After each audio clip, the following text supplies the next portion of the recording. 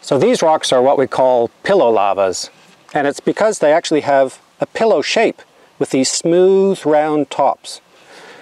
But the unique thing and the character that geologists use from pillow basalts is we can tell which way they were deposited because the bottom is rough.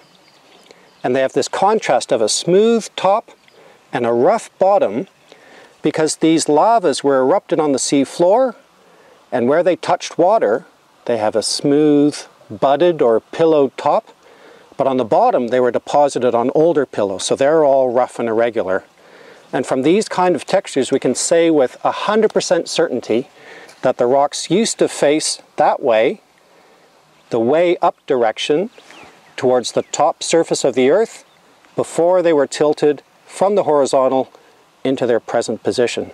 And that's really how we can reconstruct environments, even though the rocks are so old, by comparing it to modern day features that have exactly the same textures. So here I'm sitting on pillow basalts that are actually directly above the marble bar chert. And they look just the same as the ones below, although they're slightly better preserved. And they tell us that there was a period of volcanism then there was a hiatus or a quiet period when the marble bar chert was deposited, and then it went back into erupting lavas. And that's part of the building up of the picture, time slice through time slice, in the geological history of this area.